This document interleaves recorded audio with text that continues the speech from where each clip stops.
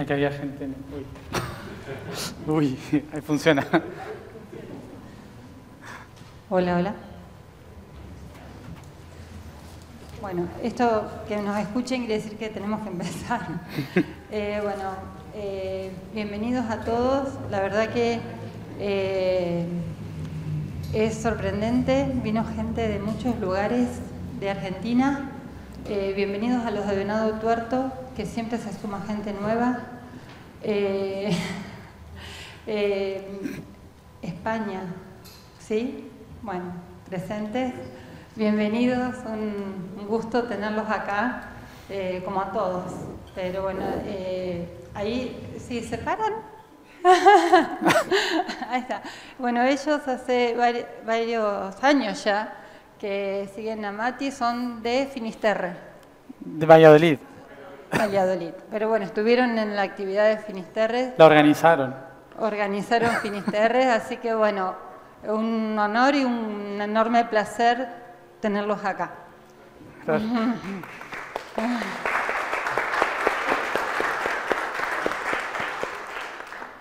Bueno, eh, mi función es contarles que esta charla es de aporte voluntario, destinado siempre a una entidad educativa.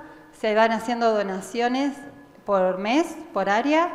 Eh, las cajitas rojas, ahí pueden dejar su aporte, eh, que será bienvenido para la escuela que, toque a este mes o para algún comedor. Eh, así que bueno, agradecemos en, parte de la institución que en su momento después se, difunde en Facebook a, quien, a quien hemos seleccionado.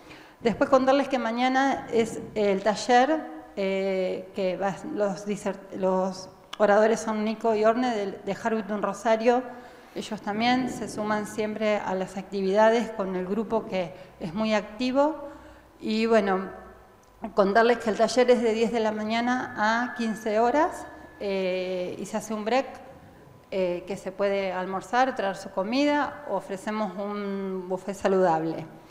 Eh, después, al otro fin de semana, que ya lo van a ir viendo ahí, ah, justo, Vitelmina también viene a dar una conferencia. Son tres horas, eh, que va a hablar de los países y, bueno, por qué, por qué cada país hoy está como está y cómo se relacionan entre ellos. Y la novedad que les puedo contar es que cerramos política el 9 de octubre con un panel eh, de expositores y va a ser interactivo.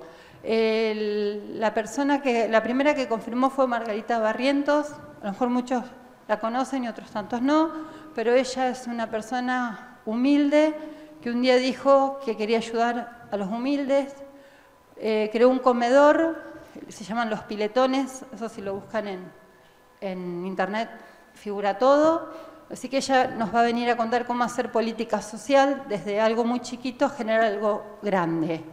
Y bueno, tenemos también confirmado a Ignacio Cícero, que es fundador del Pueblo Propone, que tiene una plataforma online de política a político.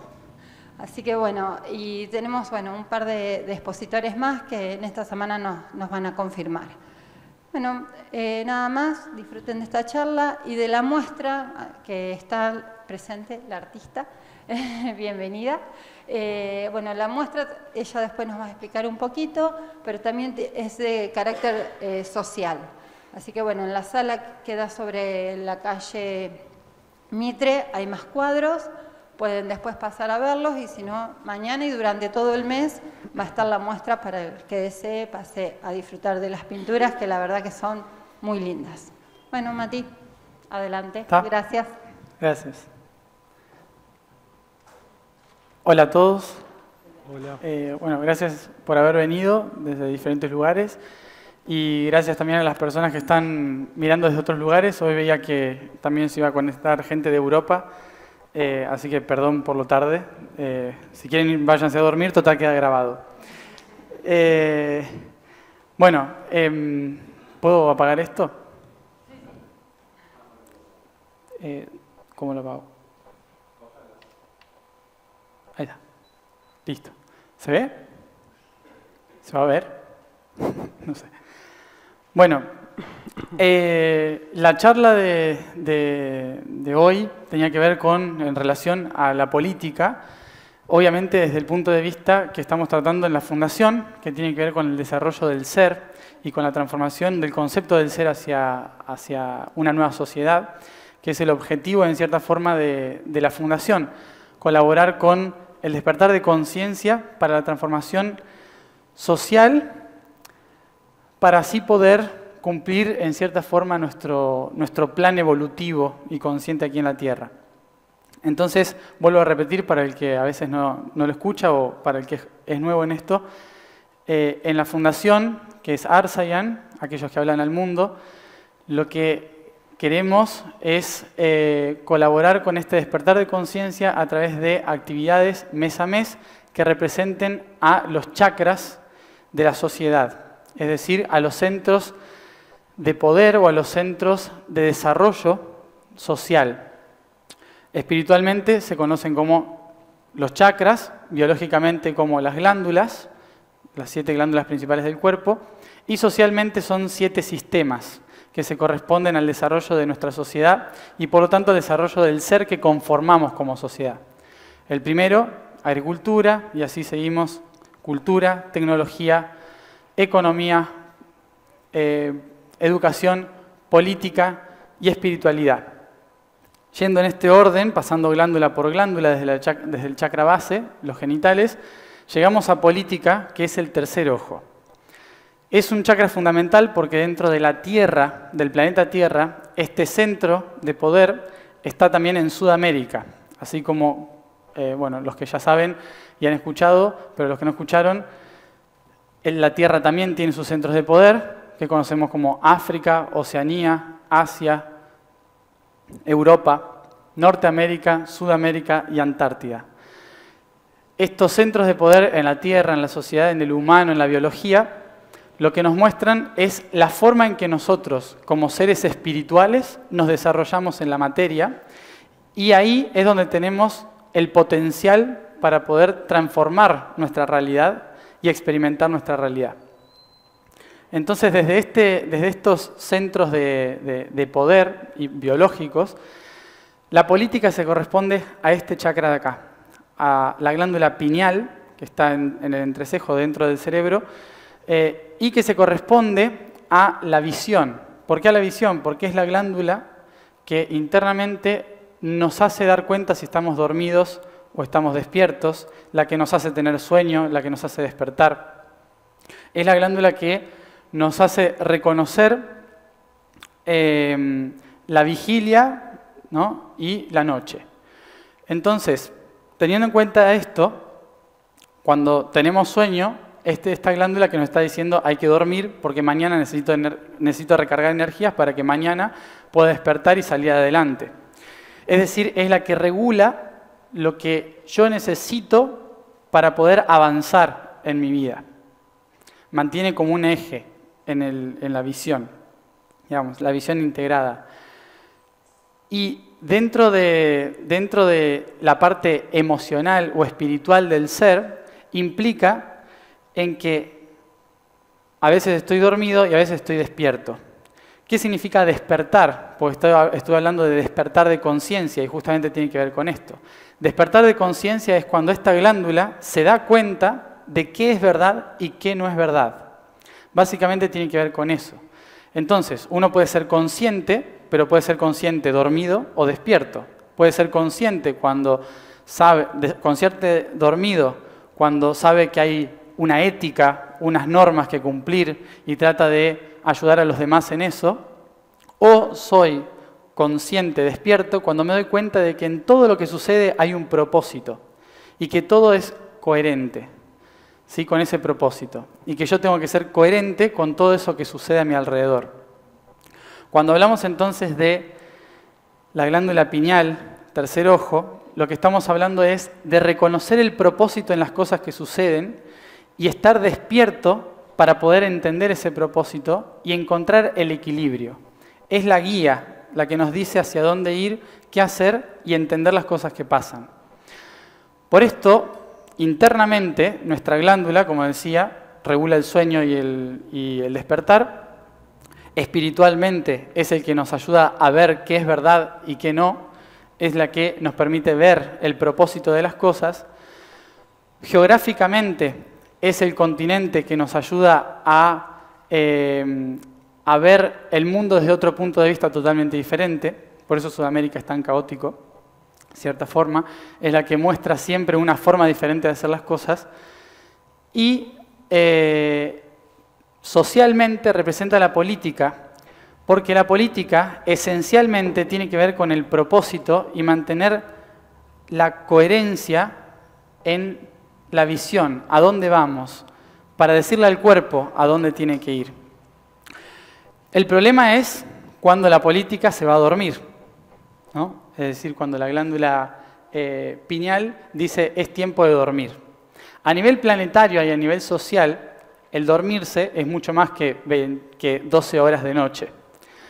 A nivel social puede significar unos 12.000 años aproximadamente. 12.000 años en que para la sociedad son esas 12 horas en que yo puedo ir a dormir porque es de noche. La glándula pineal, desde el punto de vista social, hace 12.000 años que se fue a dormir y recién ahora está tratando de despertar. ¿sí? entonces claramente está despertando de la forma en que nosotros despertamos cualquiera de nuestros días. Es decir, nos despertamos confundidos, ¿no? nos despertamos torpes incluso, y creyéndonos que el sueño que habíamos tenido era lo mejor que nos había pasado y que alguien nos despertó y no teníamos ganas de despertar. Básicamente, esa sensación que nos pasa en los minutos en que despertamos es lo que a gran escala en estas décadas estamos viviendo a nivel político. Sabemos que hay que cambiar, pero no sabemos para qué. Como despertó la conciencia, ahora sabemos que tenemos que hacer algo diferente, pero estamos acostumbrados a votar, entonces tampoco queremos cambiarlo. ¿sí? Y pasan un montón de cosas en que decimos, bueno, pero por lo menos lo, que ya conocemos está bien, porque es lo que vengo soñando hace un rato. No me lo cambies de golpe, ¿no? que es como despertarse rápido. Entonces, lo que estamos viendo hoy como, como situación política a nivel global es que estoy despertando en conciencia, me estoy dando cuenta de que hay algo más allá, de que hay un propósito mayor que por lo cual estamos hoy actuando como sociedad. Y para eso lo relaciono con todo lo que hemos ido eh, viendo en las, en las, charlas anteriores, que tiene que ver con el origen. Voy a ver cómo, como, como siempre, nunca me preparo mucho lo que voy a decir, pero voy a ver cómo lo explico.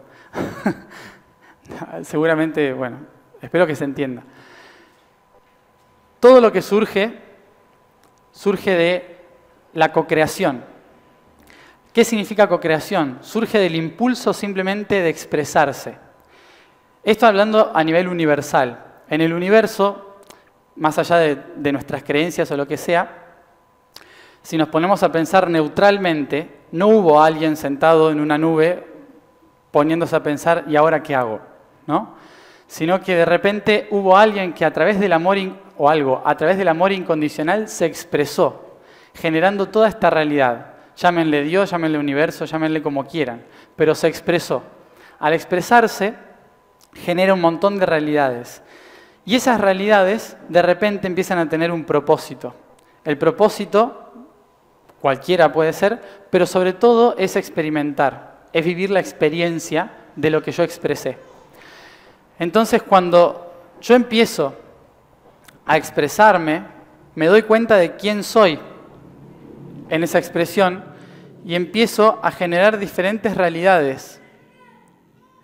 Y esas realidades a mi alrededor son mi propósito, ir hacia el exterior, expandirme. Cuando hablo de, cuando hablo de, expansión, eh, cuando hablo de expansión,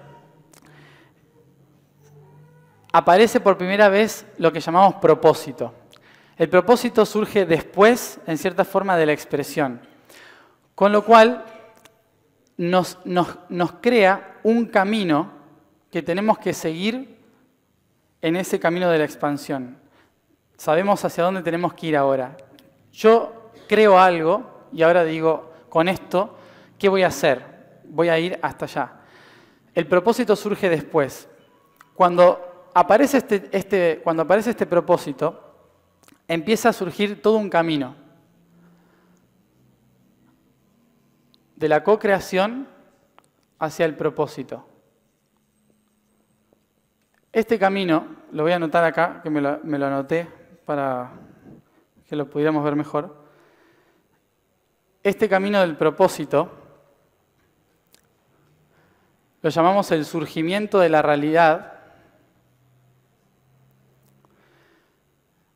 que se ordena en patrones, ahora lo explico mejor, a través de un proceso creativo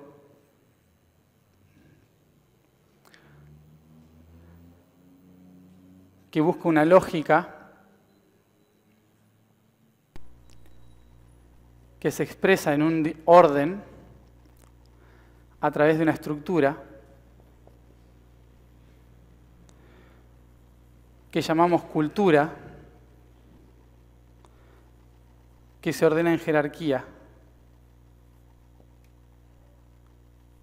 que genera una estructura social. Si tomásemos el, el, principio el principio del universo como la expresión que significa co-crear, es decir, todos generando una realidad, cuando generamos esa realidad y nos preguntamos, ¿esto para qué es? Surge el propósito. El propósito es, ¿para qué hacemos esto? ¿Cuál es el sentido por el cual hacemos todo lo que hacemos? A partir de que surge el propósito, el surgimiento de un propósito, el universo busca ordenar ese propósito en forma atómica, en forma geométrica, en cualquier tipo de forma. Esto genera la creatividad, es decir, todo lo que empieza a existir, todas las formas, los colores, las luces, eh, los sistemas, empieza a haber un orden creativo que genera la evolución. Esta evolución tiene una lógica, tiene un patrón a seguir, una estructura. ¿sí? Esta lógica se expresa en diferentes niveles. Esos niveles es lo que después conocemos como los diferentes reinos, como los vegetales, minerales, humanos, planetas y demás, que dan lugar a estructuras. Esas estructuras son las manadas, los grupos, los diferentes eh, niveles evolutivos que dan lugar después a una cultura. Esos diferentes niveles de conciencia, niveles de pensamiento, generan una cultura. Y esa cultura cuando empieza a crecer, a expandirse y a tomar control y posesión de un territorio o de una historia, necesita inevitablemente de una jerarquía para que le ordene y le recuerde el propósito. Debido a todo este viaje que estamos realizando en este camino, la cultura es solo una perspectiva del propósito real por el cual estamos haciendo las cosas. La cultura es solamente una herramienta que tenemos para desarrollar el potencial que tenemos adentro. Pero esa cultura a veces pierde el propósito. Y cuando pierde el propósito necesita de alguien que les diga por dónde era el camino, qué era lo que teníamos que hacer, a dónde teníamos que ir. Y esto genera una estructura social. La primera estructura social que conocemos después de la manada es la monarquía, que en realidad nace del sacerdocio. ¿Por qué? Porque la primera estructura social que nace es espiritual, no es social.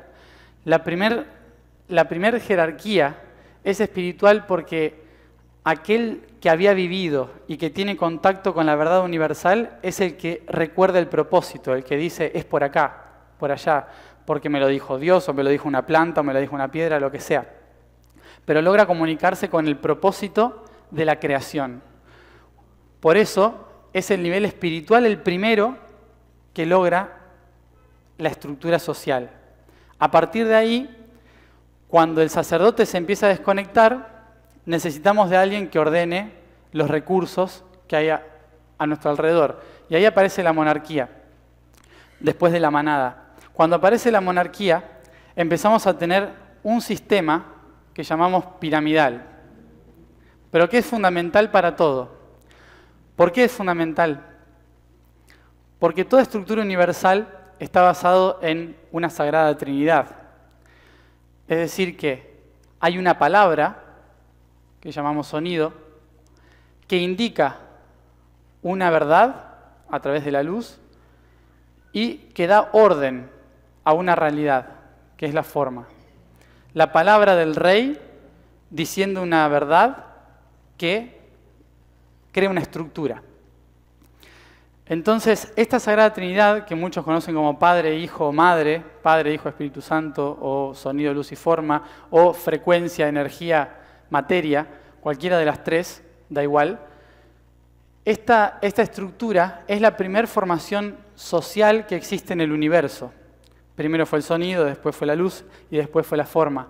Cuando aparece esto, es por ello que la verdad universal primero se expresa desde el propósito espiritual. Luego se expresa desde la palabra que dice tener la verdad. Luego, solo aquellos que tienen contacto con la luz se pueden, se, pueden, eh, pueden dirigir la forma. A eso llamamos feudalismo o oligarquía. Es decir, todos los sistemas que tienen contacto directo con la palabra del centro, con la palabra real, entre comillas. Acá estamos hablando de gente conectada, no de gente desconectada, que es la que conocemos. ¿no? Estamos hablando de otro sistema totalmente diferente hace millones de años. Entonces, en este momento surgen los grupos que tienen contacto con la luz, que son los que dicen más o menos cómo van las diferentes perspectivas de esa palabra única, que era de la monarquía para luego pasar a la forma, y la forma es la estructura máxima, que llamamos dictadura. No piensen en la historia actual, estamos hablando de conceptos. ¿sí? La dictadura es cuando se forma una verdad estructurada que me dice lo que tengo que hacer. Este es el propósito, punto, se terminó. Tenemos un límite, el límite es el triángulo, no podemos salirnos del triángulo. Hasta que el triángulo se pregunta a sí mismo, ¿y si puedo transformarme a mí mismo y puedo cambiar mi forma y ser un cuadrado? Eso se llama democracia, en concepto espiritual. Pero después el cuadrado se da cuenta de que siempre fue lo mismo, de que siempre fue el punto. Por más formas que tome, por más cambios que haga, siempre fue lo mismo. Ese es el siguiente paso que se llama ontocracia. Todavía no existe. ¿Ya existió? Todavía no lo existe. Ahora lo vamos a hablar. El tema entonces es que desde la cocreación universal nosotros tenemos un propósito que a lo largo de toda la expresión cósmica y expansión universal termina convirtiéndose en cultura, que distorsiona en cierta forma el propósito original y por eso necesitamos una jerarquía o estructura que nos ayude a recordar siempre cuál es el propósito. Por eso siempre los que han estado cerca del poder son los que más o menos entienden la realidad del asunto, pero por una cuestión de comodidad no la comparten con todas las otras partes. Básicamente porque el sonido es la base de toda creación, es decir, la palabra. Si yo logro controlar la palabra o el verbo, controlo toda la forma. Cuando alguien hace miles de años se dio cuenta de esto, creó la política, básicamente. ¿Qué fue eso? Ponerle orden, orden a toda la estructura. La estructura no sabía hacia dónde ir, se había olvidado de su propósito.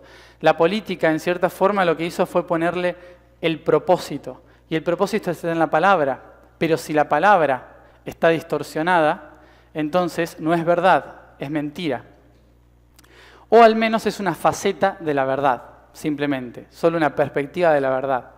Cuando tengo diferentes perspectivas de la verdad, lo que tengo son diferentes propósitos.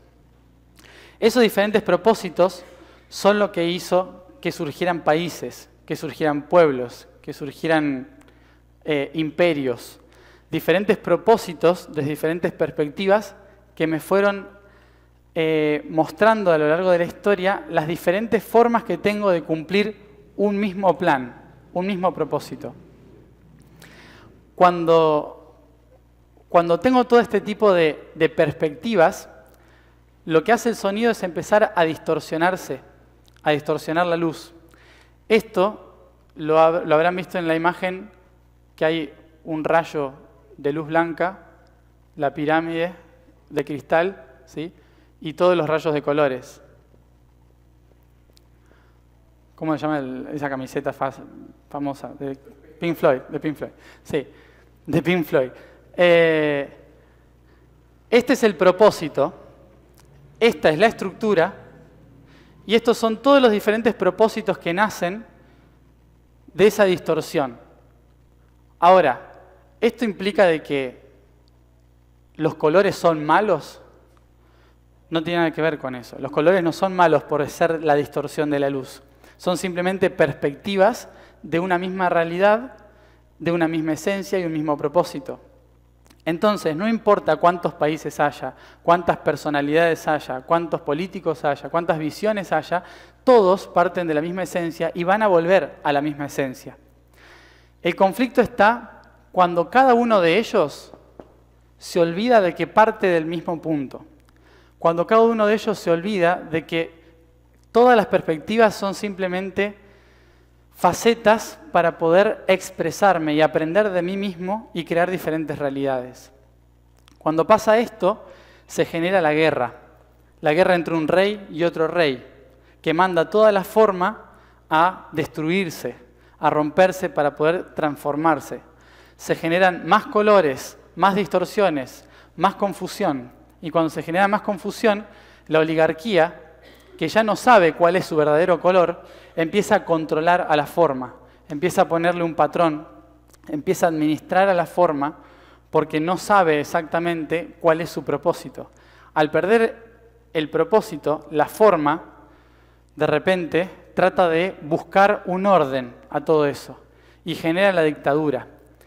Cuando no hay una idea ni un propósito, la dictadura aparece para tratar de recordar el propósito, pero a través de la forma, es decir, a las patadas, a lo duro, ¿sí? a la estructura. Cuando encontramos la estructura, todo ese colapso de, energías y colapso de, propósitos y colapsos de perspectivas nos lleva a la revolución. La revolución hace que el triángulo se fragmente en muchos otros pedazos, en muchos otros trozos, cada vez más pequeños, cada vez más pequeños, que terminan formando diferentes triángulos con diferentes propósitos que todos se dan cuenta de que pueden decidir por la gran parte. Cuando todos se dan cuenta que pueden decidir por la gran parte, aparece la democracia. Esto hablando de frecuencialmente de la historia social. Aparece la democracia. ¿Qué significa? Que ya hemos experimentado como entidades espirituales el estar oprimidos y empezamos ahora a darnos cuenta de poder, de poder expresarnos y tomar control de las partes. Cuando empezamos a tomar control de las partes y nos damos cuenta de las diferentes perspectivas, tomamos en cierta forma partido, nunca mejor dicho, para avanzar hacia un objetivo, que es el propósito. Pero el propósito estaba tan distorsionado y está tan roto y partido que no nos acordamos cuál era realmente. Entonces, al, pasar esto, nos perdemos en cuestiones muy mundanas, en que la democracia termina siendo simplemente una guerra a través de urnas, básicamente. ¿no? Dejó de ser monarquía, ya no pasamos a la guerra, pero estamos en la misma guerra desde otro lugar. Entonces, todo este caos empieza a ordenarse cuando esta estructura desaparece. Cuando cualquiera de estas estructuras desaparece y pierde el valor.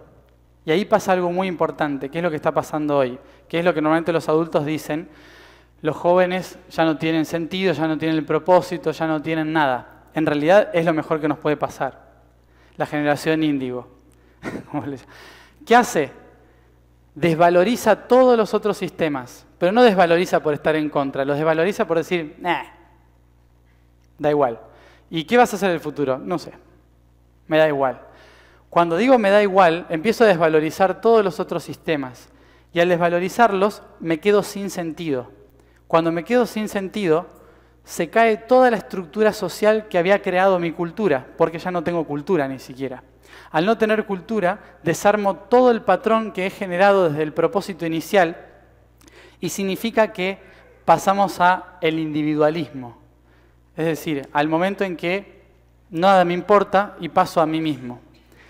Cuando paso a mí mismo es el momento esencial, porque volví acá. Obviamente, como estamos distorsionados, pasamos a través del ego, a través de todo me da igual, me da igual que se mueran todos. Yo estoy acá. Pasamos a través del ego, pero el egoísmo y el individualismo nos empieza a recordar que yo soy. Y cuando empiezo a recordar que yo soy, empiezo a conectarme con mi propio propósito, con mi propio ser, con el ser que conformo. Y cuando voy al ser, en griego, es ontos. Cuando vuelvo al ser, empiezo a encontrar el poder en mí mismo, que se llama ontocratos. La ontocracia significa recordar quién soy y por qué estoy aquí, no como conjunto, no como, como un grupo, sino como yo, como ser, como entidad. Cuando paso a reconocerme como yo soy, porque surgió la duda de si todo esto realmente tenía valor, empieza a caer todo el sistema político, todo el sistema social, educativo, absolutamente todo empieza a desarmarse. La frecuencia del, color del chakra, del tercer ojo, se corresponde a el índigo, justamente, la frecuencia índigo, que es un color entre el azul y el violeta. Cuando llegamos a la frecuencia índigo, significa que al despertar empezamos a activar nuestra, nuestra transmutación, el cambio de las cosas. Pero el cambio de las cosas desde mi punto de vista, no desde el punto de vista del todos, que eso es acá y acá, ¿no? el punto de vista del conjunto, de lo que comunico, sino que es interno, a dónde yo estoy yendo. Y la política tenía ese rol. Entonces de repente empieza a haber otro pensamiento político, que es quién soy y por qué estoy aquí, cuál es mi propósito. Pero eso no se lo plantea solamente un individuo, sino que se lo plantea también un gran individuo, que es la Tierra. Cuando la Tierra se plantea quién soy, por qué estoy aquí, empieza a haber un caos enorme en la Tierra lo empezamos a llamar Primera Guerra Mundial, Segunda Guerra Mundial y ahora tal vez Tercera, aunque tal vez no pase, pero cuando empieza a haber ese gran caos alrededor del mundo, es la Tierra destruyendo sus propias estructuras. Nosotros estamos en la Tierra desde una concepción muy básica, pero en realidad somos la Tierra. ¿Qué significa? que el caos que nosotros generamos es en realidad la Tierra misma dándose cuenta de que sus estructuras ya no sirven. Como la Tierra se da cuenta de que sus estructuras ya no sirven, la humanidad empieza a destruir sus propias estructuras. Cuando pasa esto, se desvalorizan todas las estructuras y renace la espiritualidad del yo soy. Primero con los libros de autoayuda, ¿no? Obviamente, que es cómo me salvo de esta. Cuando digo cómo me salvo de esta, ya estoy yendo al centro, porque no quiero salvar a la humanidad, primero me quiero salvar a mí mismo. Cuando me quiero salvar a mí mismo y me doy cuenta, ah, es esto, no solo me está pasando a mí esto, sino también a los países. El país, cada país es una entidad, por lo tanto también es un ser, con una historia, una personalidad. Argentina, por ejemplo, tiene 14 años aproximadamente como entidad, 200 y algo como país, pero 14 como ser, como persona. Es decir, que está en la pubertad, está descubriendo que tiene tetas, por decirlo así, ¿no? para decirlo muy vagamente. Está cambiando su, hormonación, está reconociéndose desde otro punto de vista, está pasando a otro, a otro nivel de conciencia y preguntándose quién quiero ser. ¿sí? Y, y, tiene un caos enorme porque no sabe ni quién es. ¿no? Entonces, entonces estamos en un periodo esto hablando de Argentina, pero obviamente tenemos a España, que acá tenemos la energía de España, que España es una abuela. ¿sí? es una señora que tal vez se está dando cuenta ahora de que hizo un montón de cosas y, es como las personas de 60 años que dicen, ¿qué hice de mi vida? ¿no? Como una cosa así. Entonces cada país se está replanteando, se está replanteando su propósito. Cuando esto pasa, esto eh, genera crisis, crisis económica, crisis social, crisis educativa, porque es el ser del país preguntándose cuál es mi propósito. La política entonces tiene como objetivo guiarnos hacia nuestro propósito, reconectarnos con, con nuestra misión de vida, por qué estamos acá. Entonces, las personas que trabajan en la política o que piensan desde la política, lo primero que se tienen que preguntar es quién soy y por qué estoy aquí. Empezando desde esas dos preguntas, empezamos a responder por qué yo elegí nacer en un país, qué rol tengo yo en mi país y cómo puedo empezar yo a transformar mi país, que puede ser mi casa, mi mundo, cada uno desde su punto de vista. A lo mejor transformar mi mundo es mi casa o transformar el mundo en el caso de Obama. ¿no? Eh, pero tiene que ver primero con reconocer quién soy y por qué estoy aquí. Las preguntas, las preguntas básicas tienen las respuestas básicas. ¿Quién soy? Yo soy. Punto. Se terminó. ¿Y por qué estoy aquí? Para ser. Son respuestas tan fáciles y tan sencillas que tienen un mundo de interpretación. Entonces, cuando yo me empiezo a, replantear el propósito, desvalorizando todo lo que hubo anteriormente, me reencuentro con el propósito inicial de todo. Después hay un montón de otros propósitos que llamamos culturales o individuales, pero el propósito inicial era este. Yo soy, yo tengo que ser. En esta, en esta, eh, en esta pregunta, en esta respuesta, nos vamos a encontrar que, con que todo lo que yo soy es una expresión de mí mismo evolutivamente hablando. Y como soy una expresión de mí mismo evolutivamente hablando, todo lo que existe a mi alrededor es biológico. Todo lo que yo genero es biológico. Y por lo tanto, todo lo que, lo que, lo que mm, eh, lo que voy a, lo que voy a expresar en mi, en mi realidad tiene que ver con la biología, con mi estructura biológica. Cuando yo encuentro esta, esta respuesta que empieza a transformar todo el concepto esencial, voy a hacer un camino, que en realidad es el camino del ADN, que por eso pusimos como símbolo el ADN acá, voy a encontrar este camino del ADN que me va a indicar de que la esencia del propósito de la política es reconectarnos con la libre evolución. Es decir, que todo lo que hacemos es para ser libres y autosuficientes en el camino evolutivo. Cuando un país se olvida del concepto de libertad o del concepto de autosuficiencia, entonces pierde el sentido. Pero esa autosuficiencia es eh, transversal, en cierta forma. ¿Qué significa? Que el todo condiciona al ser y el ser condiciona al todo. Por lo tanto, cada uno de nosotros que estamos en el centro, cada uno de los individuos, es tan importante como el que está afuera. Y cada acto que yo realizo si me reconozco como ser libre, condiciona y transforma todo lo que está a mi alrededor. Esto es lo que vamos a llamar ontocracia. La democracia implica que un sector que conformo es más grande o más potente que el otro que me rodea. Es decir, que si hay más de derechas y menos de izquierda, ganaron los de derecha.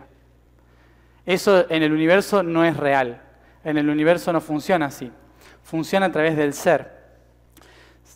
¿Esto qué, significa? Que en la, en la democracia lo que estamos viviendo es todavía la dualidad, pero cuando el ser se reconoce como uno, empezamos a darnos cuenta de que en realidad no existe la dualidad, de que no existe la guerra, solo existe el propósito. Y si existe solo el propósito, lo que tenemos que buscar es de qué manera mi ser puede colaborar con todos los otros seres.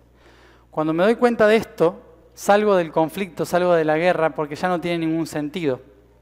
Cuando me hago esas preguntas y puedo reconocer quién soy, empiezo a darme cuenta de que mis actos aquí y ahora modifican absolutamente todo, pero como ser, no como grupo. Cuando me doy cuenta de esto, empieza ahí realmente la ontocracia. La ontocracia es algo que va a pasar más adelante, pero que la empezamos a construir desde el concepto, cuando nos empezamos a dar cuenta de quién somos realmente. Mientras tanto, la democracia es algo que nos hace creer que somos libres. Pero no porque la democracia sea mala, sino porque en realidad nos está ayudando a darnos cuenta de que podemos ser libres. Pero cuando seamos libres, nos vamos a dar cuenta de que este no nos puede condicionar. Por lo tanto, no necesitamos presidente. Por lo tanto, no necesitamos políticos. De repente nos damos cuenta de que el político soy yo, porque yo busco mi propósito y el orden. El tema está en que como estamos en la materia, sí o sí necesitamos estructura. Por suerte, desde otros niveles de conciencia, mandaron algunos científicos y crearon tecnología. La tecnología es una herramienta fundamental para reconectarnos con el ser. Pasa que todavía la estamos usando como si fuéramos de las cavernas, entonces no sabemos usarla. ¿no? usamos tecnología para hacer tonterías en lugar de reconectarnos con el ser. La tecnología dentro de los chakras es el plexo solar. Nos reconecta con las redes, con todos los otros, con los vínculos. Y por lo tanto, son todas las redes sociales, son todos los sistemas de tecnología que nos permiten estar en comunicación. Significa que en ciertas herramientas tecnológicas, en los próximos años, están las claves para poder regularnos a nosotros mismos y tomar ese poder que nos corresponde como, como seres, como individuos dentro de este sistema. Una vez que surja esto, le vamos a llamar ontocracia. Y esto que implica de que cada uno en su bolsillo puede tener la herramienta para votar leyes, crear leyes, armar normas, etcétera, etcétera. El problema es que, ¿por qué no funciona hoy? Ni va a funcionar dentro de un tiempo cercano porque no estamos acostumbrados a ser libres. Porque más allá de que nosotros hablemos de esto como algo, wow, sería genial que no haya una estructura social que me diga qué hacer, cómo hacerlo, cuándo hacerlo, ni que yo tenga que votar a alguien para que me represente, sino que yo ya sé que soy y me puedo representar a mí mismo. Para esto tenemos que tener en cuenta algo básico, y es que todos los sistemas que vivimos acá no son solo sistemas sociales, son sistemas familiares. Cuando nosotros somos bebés, que nos da igual todo, nos da igual cualquier persona que está a nuestro alrededor, si quiero llorar lloro, si me da totalmente igual, estoy conectado con el sacerdocio, con el sistema de yo soy, y todo lo otro me da igual, porque yo sé que esto es perfecto. Pero cuando empiezo a decir una palabra y entender una palabra, por ejemplo, no y sí, entro en monarquía. La monarquía es que hay un rey y una reina que se llaman mamá y papá. ¿sí? es decir, que en los primeros siete años de nuestra vida vivimos en una monarquía, socialmente hablando, familiarmente hablando. Como vivimos en una monarquía, lo que mamamos en, los primeros, en el primer septenio de nuestra vida es un sistema social jerárquico, en el cual yo no puedo decidir, decide otro por mí, todo. Después hay que colaborar en la casa, pero yo qué hago? Tengo que decir lo que el otro me dice que tengo que hacer. Entonces pasamos como en una especie de feudalismo. Y digo feudalismo porque hay dos feudales. Mamá me dice una cosa y papá me dice otra. ¿No? Normalmente. Entonces empieza el feudalismo. En una habitación escucho una verdad, en otra habitación escucho una verdad, pero a los dos les sirvo. ¿no? Tengo que servirles en cierta forma. Lo cual hace que cuando voy creciendo y tengo 10 años y digo, yo quiero hacer esto, alguien me dice, no, te vas a comer todo el plato. Porque esto lo produje yo, porque esta es tu mejor verdad, porque no sé qué, bla, bla, bla, bla, oligarquía. lo van a vivir también en su casa, ya lo vivieron. Entonces en sus células se está impregnando el sistema monárquico, feudalista y oligarca, ¿sí? desde que nacieron. Son adolescentes, por lo tanto van a la escuela y llegó la dictadura. La dictadura. En la escuela te dicen, sentate, mira al frente, vas a hacer esto que yo te digo, tienen que traer las tareas para mañana, si no, no aprueban, bla, bla, bla, todo este sistema, y llego a mi casa y sigue la dictadura. Hiciste los deberes, no terminaste, ves que no servís para nada, bla, bla. Bueno, sigue la dictadura. Cuando cumplo 18 años o tengo 17 años, me hago un grupo de amigos con los cuales me defiendo y empiezo a hacer como una especie de sindicato en la cual empiezo a luchar por mis derechos, criticando a mis padres, vistiéndome como quiero, hago lo que quiero, le llamamos democracia. No soy libre, creo que soy libre. Todavía estoy dentro de la casa, pero hago lo que se me antoja. ¿Sí? Y mis padres todavía me están diciendo qué es lo que tengo que hacer. ¿Sí? Mientras estés bajo mi techo, bueno, pero yo hago lo que quiera en mi habitación. Bueno, en tu habitación es lo que quieras, pero en la cocina es un espacio común, ¿no? Bla, bla, bla, bla, bla, moral y esas cosas. Democracia. Y tal vez cuando cumplas 70 años, después de vivir la democracia durante un montón de tiempo, y a veces la dictadura si voy a trabajar, ¿sí? Cuando voy pasando entre democracia y dictadura, democracia y dictadura, que eso es algo que nos pasa cada tanto, ¿no? O sea, vivimos entre democracias y dictaduras, a esto le llamamos repúblicas en el medio, ¿no? creyendo que todo es de todos. Y, eh, y recién cuando cumplo 70 años, cuando ya me estoy jubilando y estoy dando dándome cuenta de que puedo hacer lo que a mí se me antoja, porque estoy volviendo al sacerdocio, que es la muerte, ¿sí? básicamente, que es el último momento en que digo, todo me da igual. ¿sí? En ese momento que ya no retengo nada en ningún aspecto, ¿sí? En ese momento volví al sacerdocio. Pero años previos empiezo a reconocerme como quien soy y me doy cuenta de que lo que tenía que hacer era simplemente ser yo mismo. Y ahí empezamos a vivir la ontocracia. La ontocracia entonces es el sistema que me recuerda que yo soy y que soy libre en realidad. Y que si no quiero hacer algo por el sistema, no lo hago. Pero que soy responsable de lo que no hago por el sistema. Pero me empiezo a dar cuenta de que en realidad estoy haciendo un montón de cosas por el sistema. Porque cuando soy viejo a veces es cuando más quiero entregar. Porque me doy cuenta de que en realidad solo tengo algo, solo tengo cosas que entregar. No tengo nada que recibir a cambio. Tengo que entregar cosas a los nietos, a los que quedan, a, a, los demás. Entonces cuando me, puedo, me empiezo a volver viejo, que estoy llegando al sacerdocio, empiezo a vivir en cierta forma la ontocracia. Ahora, este, este sistema, fíjense, que tardamos aproximadamente 70 años en poder llegar a la ontocracia. ¿Y por qué nos cuesta tanto llegar a la ontocracia?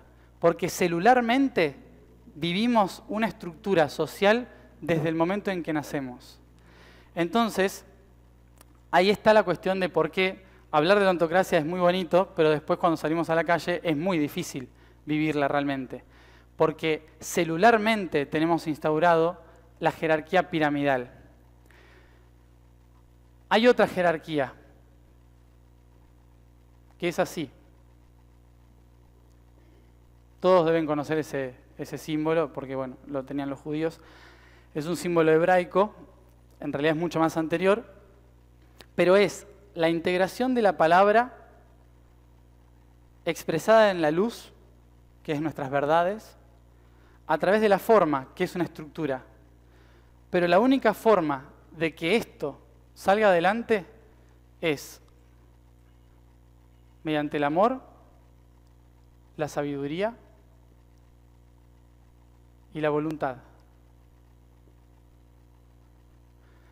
Estas es las seis puntas del, sistema. Para que realmente la ontocracia empiece a funcionar, todo lo que digo tiene que ser desde mi propia sabiduría. Todo lo que expreso tiene que ser desde el amor. Y todo lo que genero tiene que ser con voluntad, con la voluntad de servir. Entonces llego al momento del ser. Pero solo logro esto cuando no estoy del lado de nadie solo del ser. cuando estoy del lado de la evolución libre. el universo, las reglas que ponen son evolutivas. Si uno no le gusta su forma, puede evolucionar. A lo mejor tarda un millón de años, pero lo podemos hacer. Podemos evolucionar. Hay ciertos condicionamientos en la forma, pero podemos transformarnos siempre que queramos. Entonces, eh, el, problema, el problema que, tenemos hoy es la pérdida del propósito, de yo soy aquí y ahora libre en evolución. Cuando yo me desconecto de ese simple propósito, lo que genero son campañas de batalla, ¿sí? que es como le llamaban los romanos. Vamos a la batalla para hacer más grande el imperio. A esto le llamaban tomar partido, generar una tienda de campaña para ir a la guerra ¿sí? y ganarle a alguien para generar más espacio en mi territorio. Si se fijan, es el mismo vocabulario que tenemos hoy. Un partido político que hace una campaña política que va en contra de alguien para ganar a alguien y ampliar su territorio. ¿No? Mientras tengamos ese, ese mismo vocabulario, no hay ni amor, ni sabiduría, ni voluntad. Y por lo tanto no tenemos verdadera política. Por eso es importante, dentro de este momento, observar cómo los jóvenes desvalorizan el sistema. A gran escala, lo que sucede, como decía antes, es que la cultura que hemos creado a través de una estructura se desvanece, pierde el sentido. Y al perder el sentido, nos permite a aquellos que ya recordamos o que estamos tratando de recordar quiénes somos y por qué estamos aquí, crear una nueva estructura social, acorde a la libertad evolutiva de mi propio ser. Para eso, las herramientas simples es buscar todo aquello que me ayude a recordar quién soy y por qué estoy aquí. No importa qué herramienta usen, da igual, lo importante es que todo el que llegue al propósito, es decir, a la parte política de un sistema social, tiene que tener claridad en el propósito para guiar en una nueva visión conjunta a todo el cuerpo social, ¿sí? desde el sacerdocio, no desde la monarquía, ni feudalismo, ni ningún otro sistema, desde el sacerdocio. Que esa es la forma, no estoy hablando de religión, estoy hablando de el ser. ¿sí? Por eso, en cierta forma, lo que queremos hacer aquí eh, desde, desde la fundación eh, y desde todos los chakras sociales que estamos trabajando mes a mes es colaborar en entregar una perspectiva diferente del propósito, del propósito por el cual estamos en la Tierra, que es evolucionar libremente a través de diferentes perspectivas. Eso cada país tiene su perspectiva, cada país tiene su propósito, pero tenemos que evolucionar libremente y desarrollarnos a través del yo soy. Entonces, dentro de este, de estos, de este mes de, de política, la intención es tratar de entregar herramientas que nos ayuden a observar la política desde el sentido del ser y no desde el sentido de hacer política, sino de recordar por qué todos somos en realidad políticos. Básicamente eso. Y dejar de echarle la culpa a los políticos. Porque los políticos son solo la glándula pineal de un cuerpo enfermo. no, no, da igual. Todos nos vamos a quejar porque somos humanos. Pero lo importante básicamente es recordar que cada célula del cuerpo tiene responsabilidad sobre la vida del cuerpo, no solo la glándula pineal. La glándula pineal solo duerme o despierta. Eso es lo único que hace. Es decir, nos recuerda quiénes somos o nos hace olvidar quiénes somos. La intención es que todos colaboremos en recordar quiénes somos y todos empecemos a crear esa ontocracia sin la necesidad de tener que trascender la democracia desde el conflicto como hemos trascendido todos los otros sistemas. Y eso es por lo cual queremos entregar herramientas aquí en la Fundación. Eh, al menos poner la intención de empezar a hacerlo para que podamos ver la política desde otro punto de vista y no siempre desde la energía partidaria o la energía de la campaña política o de la administración social y el populismo y esas cosas que, hemos creado porque perdimos el propósito. Entonces, bueno, no sé si se, si se captó un poco la idea, a lo mejor hablé muy rápido de muchas cosas, pero bueno, la idea es, eh, e, es esta, tomar simplemente este concepto, después irlo desarrollando con tiempo eh, para muchas cosas y, bueno, y dar paso a que las personas que vinieron a hablarnos específicamente de política puedan contarnos de qué van a hablar, qué van a hacer y cómo va a ser el mes de política. Sí.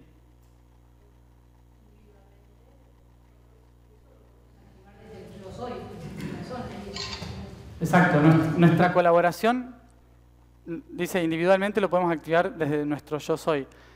Nuestra colaboración a la transformación política no tiene que ver solamente con votar a un partido político, sino colaborar en nuestro propio hogar en recordar por qué elegimos ser parte de un país y de una cultura. ¿Cuál es el propósito de vivir, por ejemplo, ahora estamos acá, en Venado Tuerto? ¿Cuál es el propósito de Venado Tuerto, más allá de vender soja? Eh, ¿Cuál es el propósito de la ciudad históricamente, en su sentido? ¿Por qué queremos formar parte de la evolución de esta ciudad? ¿Por qué queremos, o de nuestra región? Y empezar a pensar por qué surgió esta región, de dónde viene la energía de esta región, por qué elegimos nacer, incluso, cuando uno toma conciencia de que eligió nacer, ¿por qué elegimos nacer en este territorio dentro de un país que se llama Argentina, dentro de un territorio que se llama Sudamérica? ¿Y cuál es el propósito de estar incluso en la Tierra? Cuando logramos hacer ese replanteo desde nosotros mismos, ¿por qué estoy acá? Ya estoy colaborando con la conciencia colectiva, la transformación de la conciencia colectiva. Que eso es lo fundamental, colaborar con la transformación del pensamiento colectivo, más que en las urnas. Eso va a ir variando. Sí, ¿está? Ah, sí. Los, diferentes niveles de conciencia eh, tienen que ver con elección, con las veces que hemos venido, con eh, desde dónde vos decís que tiene que ver los distintos niveles de conciencia. ¿Qué tiene que ver? ¿Cuáles son la razón por la, por la cual hay diferentes niveles de conciencia. Desde mi punto de vista evolutivo universal, es lo mismo que decir por qué hay gente que le cuesta despertarse más que a otra a la mañana. ¿no? Es en realidad muy, muy simple. No es, no es ni siquiera, no es ni siquiera eh, decir, bueno, uno es más espiritual que el otro, eh, uno ha estado mucho más perdido, ¿no? sino que significa, por una cuestión básicamente del biorritmo, de que hay personas más lentas y personas más rápidas. Personas que se despiertan con mucha facilidad, son el despertador y dicen, ya estoy arriba, o antes incluso de que son el despertador, que eso ha pasado muchas veces, ya me despierto rápido, solo, y hay gente que necesita poner como ocho veces el despertador para despertarse. ¿no? Entonces, eso implica también a biorritmo el despertar o nivel de conciencia de una persona. Puede haber gente muy, muy consciente, pero que le cuesta mucho despertarse. Pero que cuando despierten son los que hacen que todos los otros que se despertaban antes, que no sabían qué hacer, ¿no? tengan que hacer, digamos, ¿no? Eh, es muy relativo eso, el, nivel de conciencia. Sí. ¿Qué fue eso?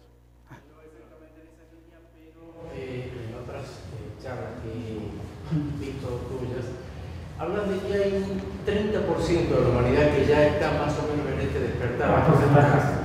Porcentaje sí, más o menos, pero ahí va justamente en eso, hablando de un 30 y un 70. Desde mi visión, es decir, ya un 30 se cree que es una masa crítica y yo creo que por eso, por eso es que me, me extraña esa, esa, me extraña, digo, te pregunto por qué ese, ese, ese porcentual cuando desde mi pequeño punto de vista me parece que, no es un 10%, pero si un 10% de la humanidad ya estuviera un poquito despertando, creo que sería mucho más rápido todo, se me ocurre. Sí, lo que pasa es que la, la cuestión es que sea más rápido que. Ese es el tema, ¿no? Porque los que tenemos conciencia de quiénes somos y por qué vinimos acá, creemos que que haya un gran porcentaje de personas despiertas implica eh, implica que, mm, que, la humanidad empiece a estar mejor, ¿no? Pero sin embargo es como, no sé si todos conocen, es como una ceremonia de ayahuasca, me da la impresión, ¿no? Nunca estuve en una, pero cuando me la cuentan. Eh, es alguien que dice, yo ya sé quién soy, necesito buscar más respuestas para poder ayudar a los otros. Y hago una ceremonia de ayahuasca. ¿Y cuál es la reacción? Me puedo conectar un montón o puedo terminar vomitando, ¿no? Entonces, pero el objetivo era el mismo. Puedo terminar vomitando porque me está purgando de las últimas cosas que quedan en el cuerpo. Entonces, desde mi punto de vista, esa me dicen que corte. Ah, no me toque, perdón. Em, es que me, choca la boca y me molesta. Eh, entonces, yo te dije que me molestaba. Entonces, lo que, lo que sucede es que en realidad las reacciones densas que estamos viviendo hoy en día es una purga del cuerpo que se está volviendo consciente. No significa ser consciente, estar, uy, se despertó la humanidad y estamos todos bien, sino que imagínate que hace 12.000 años que venimos acumulando basura, ¿no? O sea que en dos días no lo vamos a limpiar. Es como que estamos en la parte de fiebre, estamos reactivando el sistema inmunológico, estamos vomitando, estamos ¿no? tratando de revitalizar el cuerpo después de un montón de tiempo estar estando en cama, por decirlo así. Desde mi punto de vista, ya despertó la humanidad que tenía que despertar. Ahora nos toca centrarnos. Es como, ya despertamos, pero yo todas las personas que conozco que despertaron tienen un conflicto emocional terrible. ¿No? O sea, es, eh, despertaron, pero es terrible el conflicto emocional. Todos, yo también. O sea, claro, estamos, estamos como en, pero ¿por qué pasa esto? Porque desperté y todos los chakras dicen, hay que alinearse, hay que alinearse. ¿Sí? Y como me estoy alineando, hasta que se alineen todo como tienen que alinearse, vomito emociones, vomito literalmente. Me pasa un montón de cosas que seguramente todos conocen. Eh, entonces es el reacomodo, lo que a veces creemos que en realidad no, está bien, pero en realidad nos estamos acomodando para lo que viene. Lo que vos propones a nivel político, como un cambio, salir de las formas conocemos, vendría a ser la ontocracia. Y eso bajado a la 3D sería que no hay un sistema político ideal, sino que es cada uno que tiene que hacer el cambio, básicamente es eso. Exacto. Eh, cierro con esto. Un sistema ontocrático no trata de cambiar al todo, ¿sí? porque respeta los tiempos de las partes. ¿A qué, a, qué, ¿A qué me refiero con esto? Aquí un sistema ontocrático, por ejemplo en Argentina dice, el 70 o el 80% del país está libre, no hay nadie, ¿no? ¿Por qué me voy a quejar a Buenos Aires? Me voy al sur de Mendoza y hago algo diferente, ¿no? Y después en el sur de Mendoza lo que estoy haciendo repercute en la capital de Mendoza, que repercute en Córdoba y repercute en Buenos Aires y de repente termina siendo algo repotente lo que empecé en el medio de la nada. ¿Pero por qué? Porque lo hice desde el ser. Y lo estoy haciendo colaborando con el cuerpo, no lo estoy haciendo atacando al mismo cuerpo. Si yo ataco mi mismo cuerpo, lo que genero es una enfermedad, porque genero que el sistema inmunológico me ataque a mí. ¿Se entiende? O sea, es algo biológico básicamente. Si yo estoy en ataque, el sistema inmunológico del cuerpo me va a seguir atacando. Entonces lo que hago es generar algo nuevo que empiece a sanar el cuerpo desde adentro sin necesidad de luchar. ¿no? Obviamente que está en la lucha social y demás va a tener que estar en el frente. Pero los que van construyendo es de a poco en diferentes sectores construyendo herramientas que en un momento todas se conecten y digan, miren lo que se puede hacer. Desde lo, claro, desde lo pequeño, exacto. Eh, eso, es, eso es ontocrático, por decirlo así. Sí, ah, espera que termino con algunas preguntas. Sí. ¿Están despiertos? Mm, depende. No, no todos. Hay una gran mayoría más despierta ahora que hace 20 años atrás, 30 años atrás, obviamente que la mayoría de los niños ya nacen despiertos, después se pueden ir durmiendo, pero ya cuesta más que se duerman. ¿no? Lo que pasa es que el síntoma de no me estoy durmiendo es de estar en contra del sistema. Ahí está el, ahí está el problema, en que el sistema trata de defenderse. ¿Basta? ah, porque tienen que hablar de los otros. ¿Eh? Dos horas. No sé cuánto tiempo hablé por eso.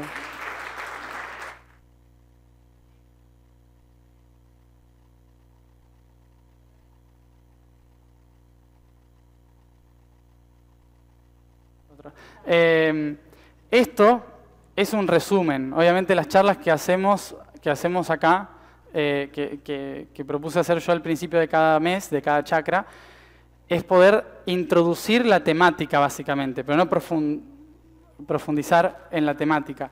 Entonces, para eso también tenemos la radio, que eh, pusimos un apartado de preguntas para que los que tengan preguntas eh, puedan seguir haciendo preguntas y, vayan, y vayamos compartiendo a través de la radio todas esas respuestas más detalladamente y, bueno, y seguir compartiendo a través de videos y demás.